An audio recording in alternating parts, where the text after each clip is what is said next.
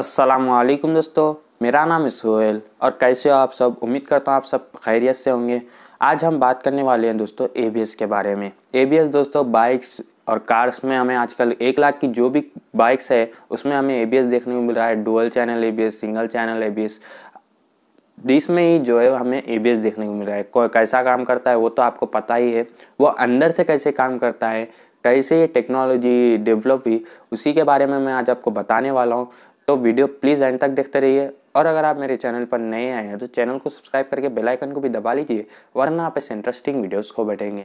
दोस्तों टेक्नोलॉजी तो इतनी इम्प्रूव होते जा रही है, इतनी इम्प्रूव होती जा रही है, चाहे वो मोबाइल्स हो, चाहे वो बाइक्स हो, चाहे वो कार्स हो। हमें टेक्नोलॉजी जो है आगे चलते जा रही है, जैसा दुनिया जैसे आगे बढ़ते जा रही है, वैसे ही हमें टेक्नोलॉजी और अच्छी देखने को मिलती जा रही है। पहले हम साइकिल्स यूज़ करते थे, उसमें हमें पंजे की तरह ब्रेक मिलते थे। पंजे की तरह और टायर को इस तरीके से पकड़ लेते थे, उससे जो है हमारी साइकिल रुक जाती थी। उसके बाद लूना लूना ही बाइक फ़र्स्ट बाइक वही थी।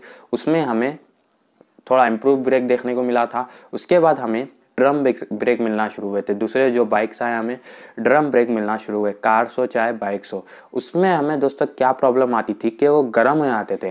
कार्स में तो बहुत ही प्रॉब्लम आती है। ड्रम अगर आप कार चलाते हो, अगर आपके पास कार है, अगर आप ड्रम की कार चलाते हो तो आपको पता ही होगा ड्रम जो है वो कितने गर्म हो जाते हैं। लॉन्ग ड्राइव पे आप नहीं जा सकते, कहीं भी आप नहीं जा सकते, ज़्यादा दूर। तो वो जो ड्रम ब्रेक होते हैं, गर्म होने की वजह से कुछ भी उन्हें प्रॉब्लम आ सकती है। चाहे वो फैल सकते हैं फैल गए तो आपको वहीं रुक जाना पड़ेगा ब्रेक ही नहीं लगेगा आपका। और या उनका शेप बिगड़ सकता है। अब उसके बाद दोस्तों ये दिक्कत को देखकर डिश निकाला गया। डिश क्या है दोस्तों? डिश जो है पतली सी प्लेट होती है, उसके ऊपर एक होल्डर लगा होता है। वो एयर के साथ साथ दबना शुरू होता है। कैसे काम करता है आप प्रैक्टिकली भी देख सकते हो यूट्यूब पे आपको वीडियोस देखने को मिल जाएँगे। तो दोस्तों आप जैसे ही वो डिश आना शुरू हुआ, डिश में क्या होता था दोस्तों? गर्म भी नहीं होता था और वो खुला होता था, उसमें हमें हवा भी लगती रहती थी। कार जैसे ही मूव होते रहती थी, उसमें उसे हवा भी लगते रहती है। अभी भी अब डिश ही यूज़ हो रहे हैं। उसकी वजह से डिश जो है दोस्तों, आपको जैसे कि पता होगा, जैसे ही हम मारते ड्रम के मुकाबले वो मारते ही जो है, गाड़ी वहीं सटल रुक जाती है। इसकी वजह से हमारे टायर वगैरह स्केट हो जाते हैं। अब ये प्रॉब्लम को देखते हुए एबीएस निकाला। एबीएस दोस्तों कुछ इस तरीके का है, वो अपने आप ही काम करता है, अपने आप ही वो स्पीड को मेज़र करता है। अब जैसे कि आप लो स्पीड में यानी कच्ची रोड पे अगर आप गाड़ी चला रहे हो, जैसे कि गली वगैरह होती है, उसमें अगर आप कच्ची सड़क पे आप गाड़, गाड़ी या कार चला रहे हो तो वो ऑन नहीं होगा, वो ऑफ़ ही रहेगा ओनली डिस्क काम करेगा। अब जैसे ही आप रोड पे जाओगे हैवी राइडिंग आप करोगे, जैसे कि आप 30 किलोमीटर के ऊपर चले गए हो स्पीड तो वहाँ पर वो ऑन हो जाएगा। 30 या 20 25 जहाँ भी है, वो ऑन हो जाएगा।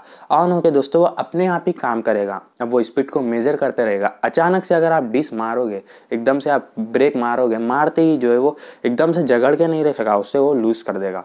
लूज़ करके जो स्पीड है, वो मेज़र करके वो हिसाब से ब्रेक मारते रहेगा। एकदम से क्या होगा दोस्तों, छोड़ते रहेगा, पकड़ते रहेगा। उसके वजह से स्केट नहीं होगी। अगर आपको टर्न लेते हुए डिस मारना है ब्रेक मारना है तो एकदम से आपका टायर एकदम रुकेगा नहीं मूव भी करते रहेगा। तो उसकी वजह से क्या होगा दोस्तों मूव भी होगा ब्रेक भी लगता रहेगा। तो ये इस इस तरीके से ये मेकानिज़म निकाला गया। बहुत ही इम्प्रूव मेकानिज़म है दोस्तों। इसके बाद ना जाने और क्या क्या चीज़ें आएँगी। उम्मीद करता हूँ आपको एबीएस के बारे में समझ में आ गया होगा। और बहुत अच्छी टेक्नोलॉजी है दोस्तों। हमें बाइक्स में भी ये देखने को मिल रहा है। पहले हमें कार्स में ही ये देखने को मिलता था। तो बहुत ही अच्छी टेक्नोलॉजी है। मैंने इसके बारे में देखा तो आपको भी पता होना चाहिए एबीएस क्या है। अगर आप बाइक वगैरह ख़रीदने जाते हो तो शोरूम वाला कहेगा कि एबीएस है इसमें।